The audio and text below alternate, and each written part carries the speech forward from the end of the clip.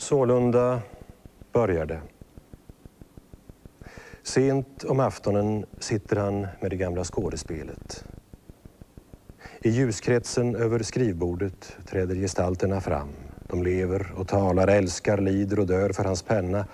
Och världen, där ute i hans eget vintermörker, är varken tydligare eller beständigare än deras. Utan just jämt likadan. Just jämt. Så som det också är avsett. Sådan är spelets idé. Förtrollad och innesluten böjer han sig fram över bordet. Innesluten i tung insikt. Ignorerande den svaga smärtan som löper likt en oklar gammal erinring nerifrån ländryggen. Doppar stiftet i bläckhornet. Känner lampans värme över handryggen. Spetsen mot pappret. Balanserande på orden på den knivskarpa äggen mellan verklighet och verklighet.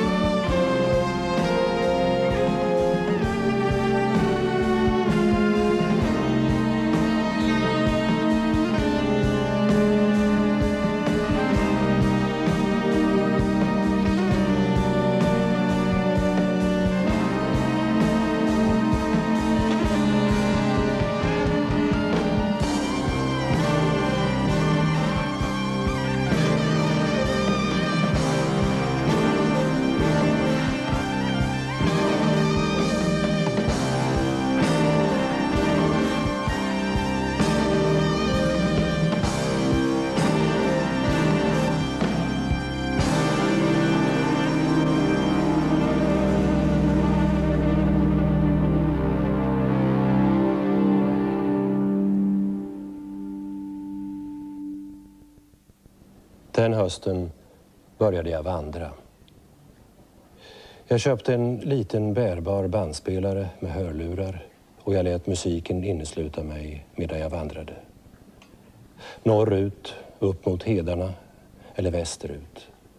Allra helst västerut gick jag. Så långt att jag kunde förnimma havet i näsborrarna. Havet på avstånd, långt borta men ändå tydligt i luften och medan jag vandrade var det som om allting långsamt förändrades. Skiftade och bytte förtecken i kraft av vinden, ljuset och mörkret, tidpunkten på dygnet och tröttheten i min egen kropp. Och musiken. Jag vandrade till Beethoven och Bloch, till Kohlhausen och Jag fortsatte att gå även sedan vintern bitit sig fast. Jag gick med nordanvinden piskad i ansiktet och med de mäktiga symfonierna som ett hus omkring mig. Och jag visste inte med säkerhet var jag befann mig. I landskapet eller i musiken. Eller i båda. Jag kunde inte förnimma om jag var utanför mig själv eller inuti. Men jag anade att mitt liv inte var mer än en tillfällig skärningspunkt för allt det som omgav mig. En godtycklig men gemensam nämnare för en kaotisk och obegriplig verklighet som innehöll just så mycket mening som finns i ett mörker som sakta sänker sig. Ett stycke blänkande våt jord. Ett adagio i vinden.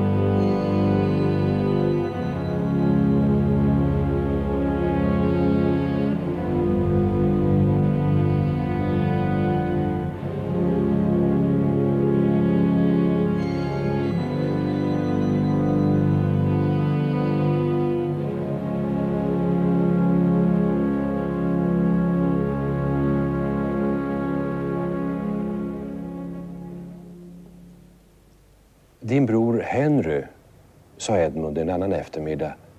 Vad är det han skriver? En bok, sa jag. En bok, sa Edmund. Som eh, Rex Milligan i farten. Den ingick i hans medhavda boksamling. Vi hade båda läst den ett par gånger redan och jag höll med honom om att det var en sjusärdeles höjdare.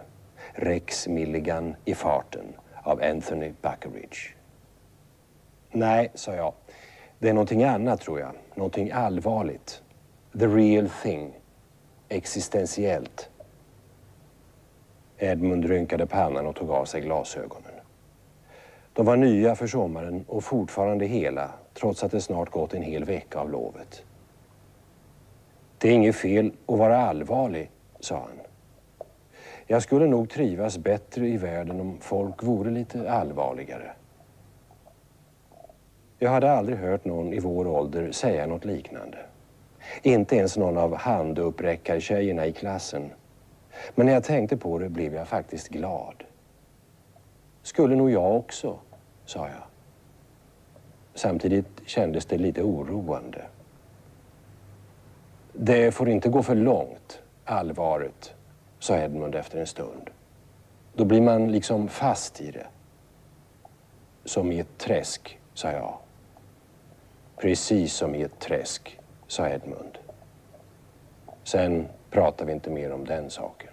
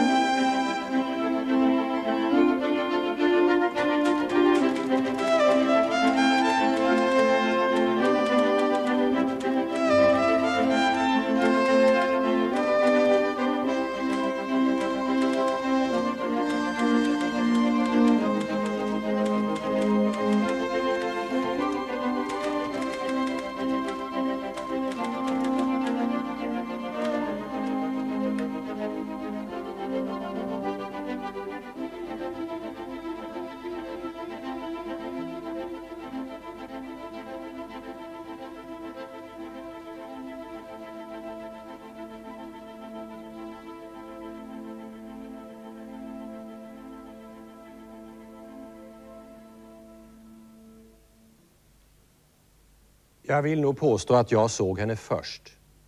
Men både Benny och Rövin är eh, lika säkra på att det var de som gjorde det. Egentligen spelar det ingen roll. Huvudsaken var ju att hon kom. I alla händelser måste hon ha passerat fotbollsplanen först. För på bara några sekunder var tjejsidan smockfull med folk som bara stod och glodde. Smutsiga fotbollsspelare i stora horder. Jävlar i helvete, sa Benny och gapade som om han satt hos tandläkare Slaktarsson och väntade på borren. Jajamän, sa Rövinok. Det är Kim Novak. Själv sa jag ingenting. Dels var jag inte den som brukar snacka i onödan, dels var jag förstummad. Det var som i en film, fast bättre. Bruden som kom fräsande på mopeden rakt in på skolgården såg verkligen ut som Kim Novak. Stort rågblont hår, läckert uppknutet med en röd sjal. Mörka, läckra solbrillor och en mun som var så stor och läcker att jag blev knäsvag. Svarta, smala släcks, svart tunn tröja som smitt åt över brösten och en röd och svartrutig öppen skjorta som fladdrade i vinden. Fy fan i mig, vad läckert, sa Baltasar Lindblom.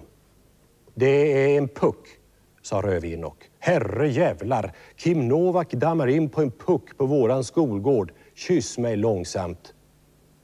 Sen svimmade Rövinok. Han hade något slags lindrig epilepsi och brukade tuppa av ibland. Det skulle snarast ha varit konstigt om han stått pall för det här, tänkte jag. Kim Novak stängde av pucken. Stod ett kort ögonblick bredbent över den med fötterna i gruset medan hon leende betraktade de 108 fastfrusna figurerna på skolgården.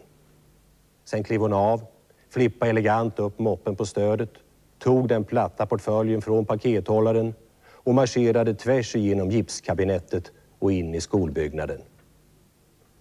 När hon försvunnit in vred jag på huvudet och upptäckte att Edmund stod bredvid mig. Skuldra mot skuldra nästan, fast han var lite längre. Den du, sa han med grötig röst. Det var vad jag kallar en mogen kvinna. Jag nickade, tänkte på hans fars pinup-tidningar och antog att han visste vad han talade om.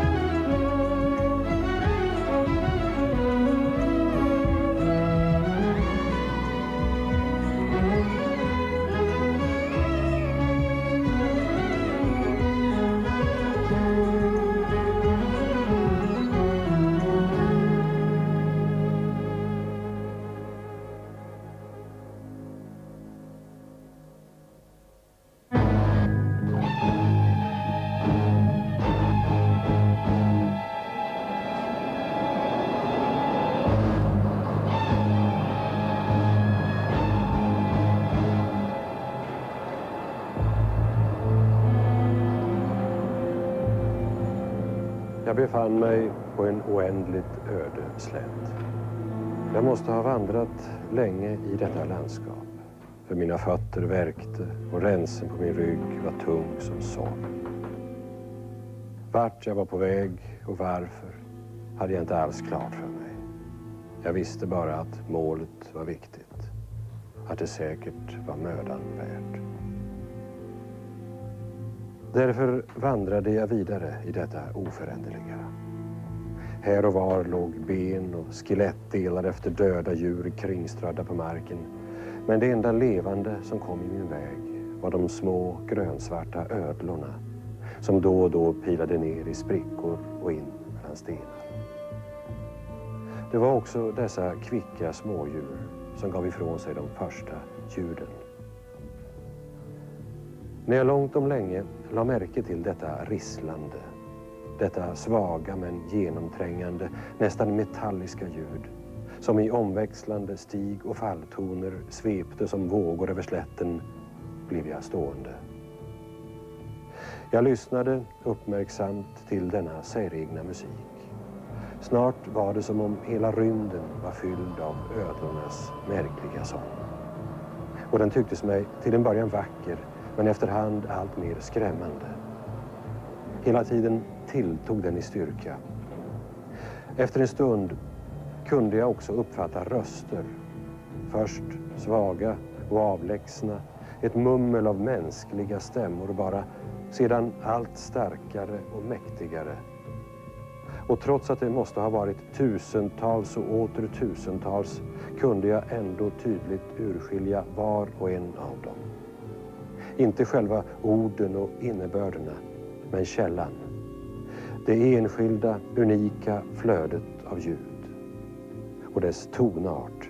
Varje specifik tonart. Varje individuell klagan och bön. Alltihop närmade sig hastigt och oåterkalleligt. Dessa ödlors svirrande en flod av ljust och obarmhärtigt ljud som eroderade genom rymden. Dessa röster, allt starkare, allt mer påträngande, allt mer dånande av ångest och lidande.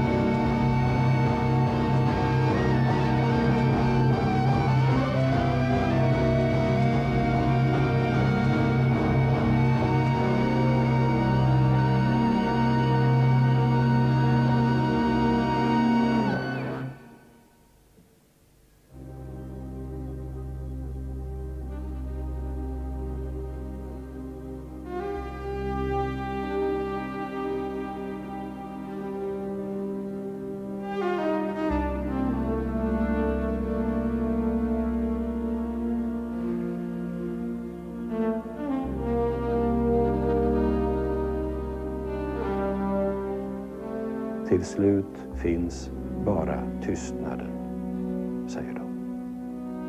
Varje ord som sagts och uttalats har dödat alla de som aldrig blev sagda.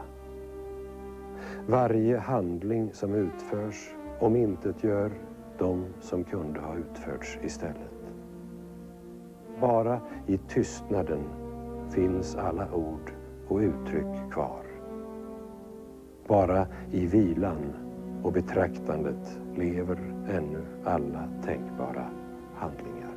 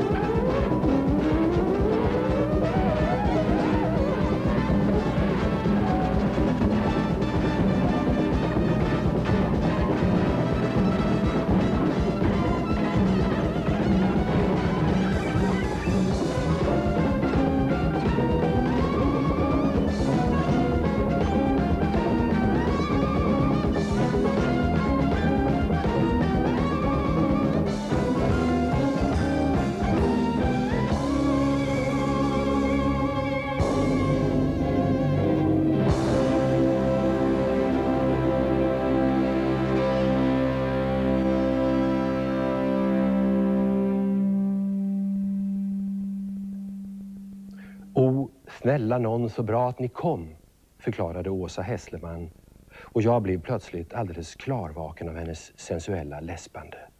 Vi vet inte riktigt vad vi är. Jag har underskattat orienteringssportens möjligheter, tänkte jag. Bravo, Viktor. En halvtimme senare nådde vi fram till fågeltornet. Så vitt jag kunde se på kartan låg det gott och väl en kilometer från närmaste kontroll och den sista kvarten hade vi vandrat helt ostörda genom skog och mark. Dimman hade lättat, solen började sticka fram och vi hade sett både räv och rådjur. Gun-Britt Gunnarsson hade flera gånger fnissande frågat om vi verkligen visste vart vi var på väg. Vi hade gett just så vagt betryggande svar som situationen krävde. Och Åsa Hässleman hade förklarat att hon för sin del inte kunde bestämma sig för om hon ville gifta sig med Paul McCartney eller Ringo Starr. Om hon nu inte kunde få båda. John Lennon och George Harrison ville hon inte ha, deklarerade hon. De verkade opolitliga bägge två. Vi hjälpte dem upp i tornet. Det tog en rundlig tid och jag kom på mig med att tänka att det var synd att de inte hade kortkorta kjolar på sig.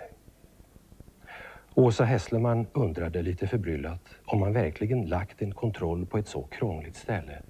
Och Viktor förklarade att vi tyvärr kommit en smula ur spår och behövde lite bättre överblick. Har vi gått vilse? utropade Gun-Britt Gunnarsson och andades andfått med öppen mun. Gud så spännande! Ta det lugnt damen, manade Viktor. Vi ska nog överleva de närmaste timmarna i alla fall, om vi bara kan hålla oss varma. Gud, sa Åsa Hässleman och hävde sig äntligen över kanten upp till plattformen. Jag som nästan inte har några kläder alls på mig. När vi väl var uppe pustade vi ut. Jag kände mig plötsligt generad och visste inte riktigt vad jag skulle säga eller göra.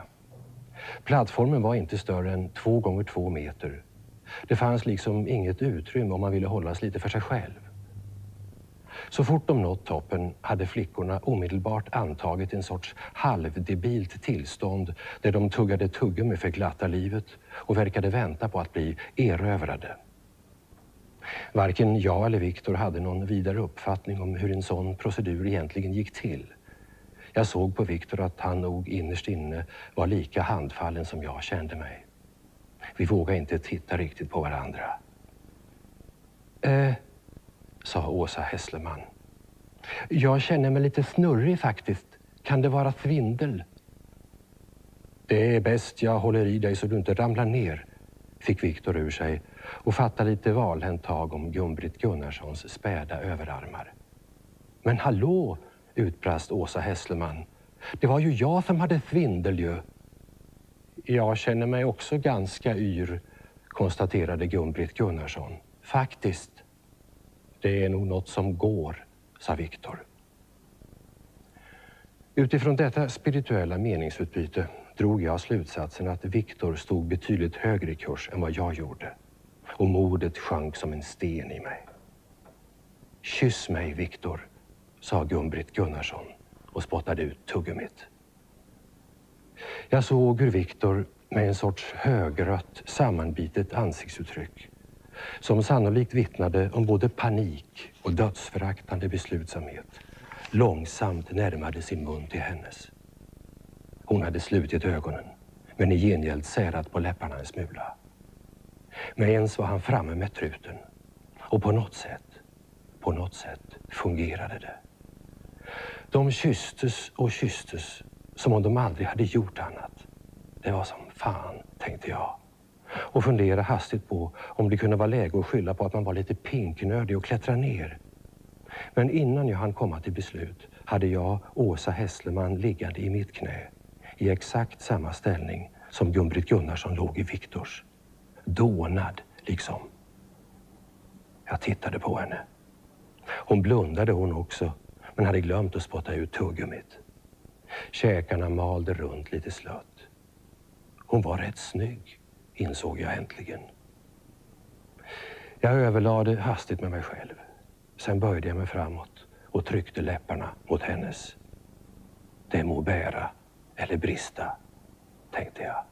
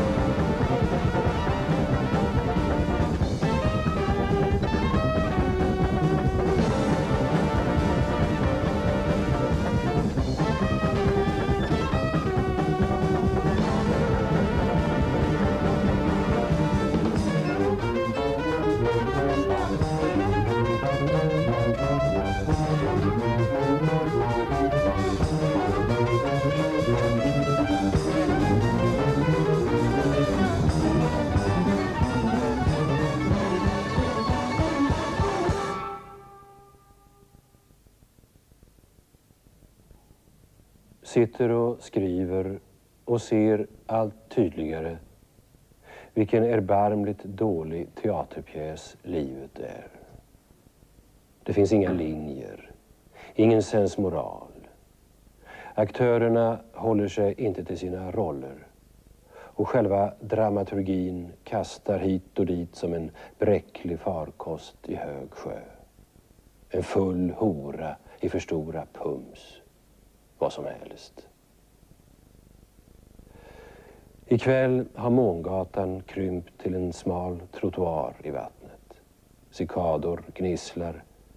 En smula mer finstämt nu i mörkret. En ostämd gitarr hörs nerifrån stranden. Och luften har den där temperaturen som gör att den inte känns mot huden. Här finns ingen strävan, ingen ångest och inget lidande. Och dekoren. Jag dricker en klunk ljummet, recinerat åsnepiss och tänder dagens fyrtionde cigarett. Oljelampan osar som vanligt. Här finns ingen elektricitet bara månen och eldarna och oljan. Jag skriver. Envetet hasplar jag ur mig dessa ord om dessa händelser. Jag misströstar hela tiden, fortsätter ändå utan att tveka. Detta är ett fängelse. Ett sannskyldigt fängelse med prostituerade kulisser som kan lura fan själv. Tolv dagar har gått sedan jag kom.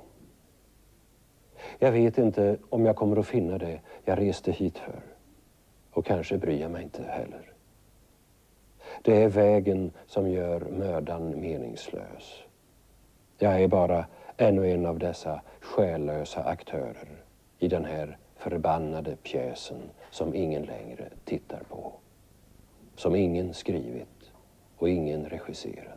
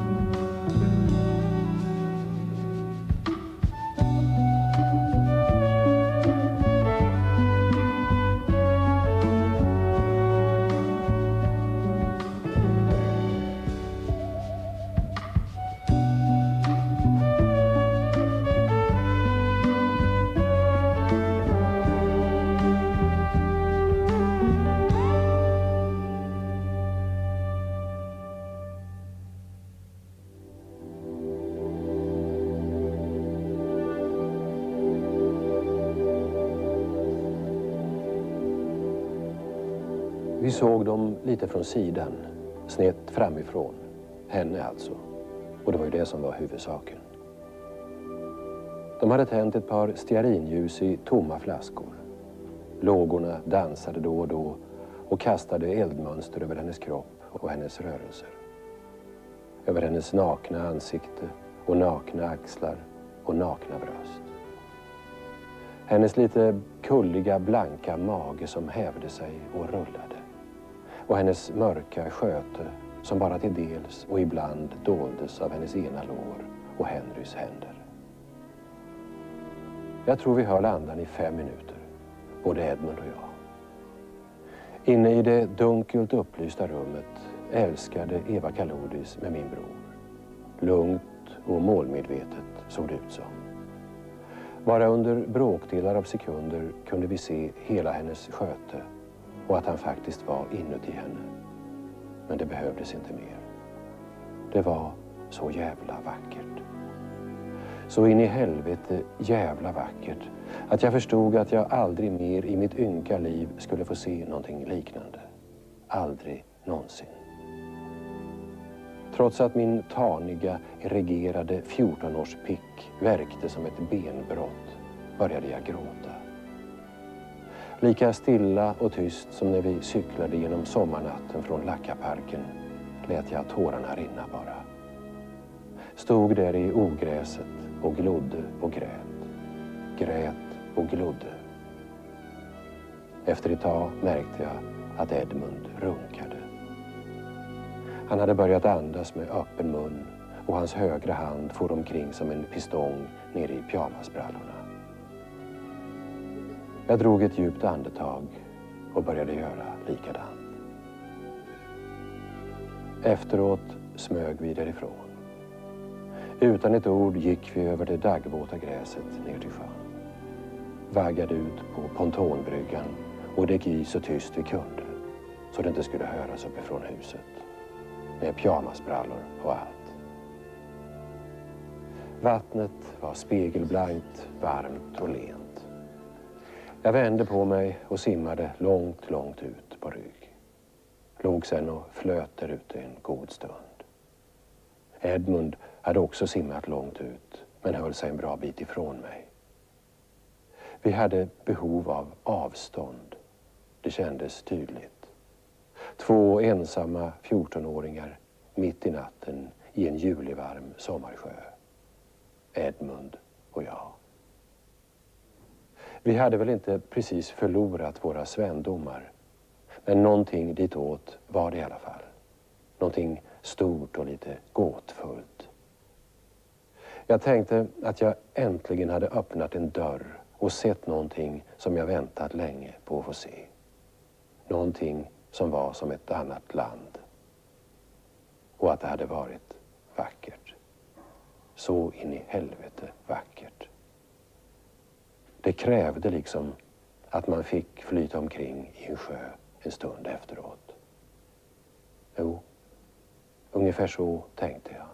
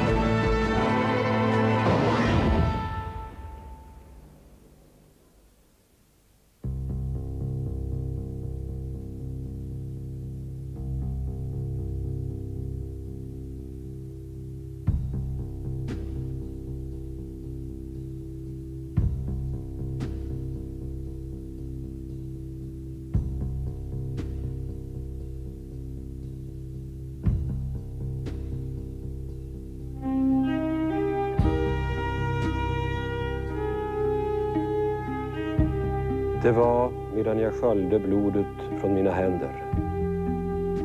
Jag står på alla fyra i månljuset och tvår mina händer i havet och insikten kommer över mig. Jag ser på mina händer att de äntligen förstår vad som skett.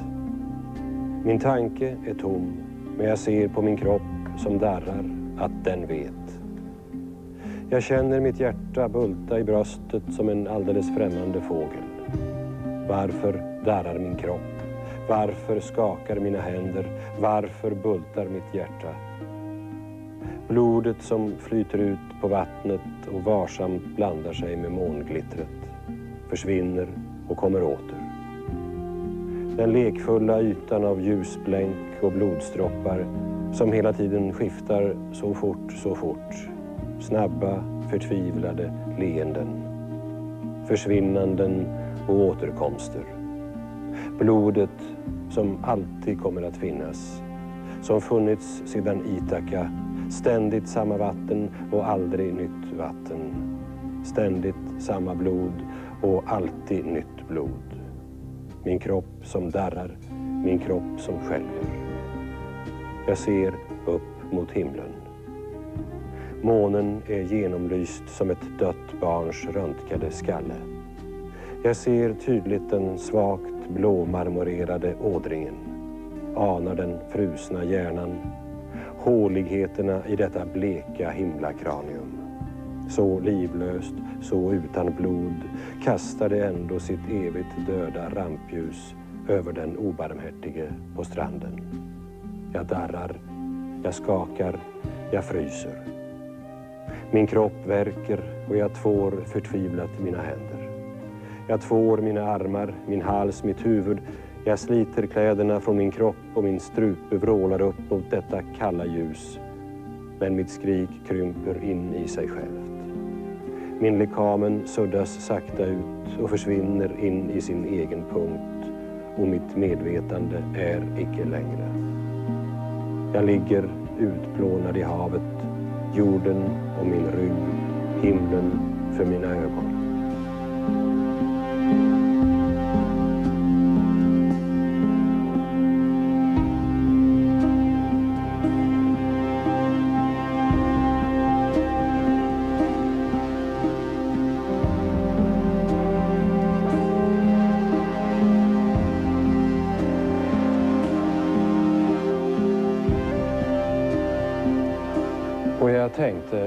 Tiden är en tjuv. Den tar ifrån oss allt. Först ger den oss allt, men sen måste vi lämna tillbaka det. Människor, möten, stunder. Så enkelt är det. Så grymt är det.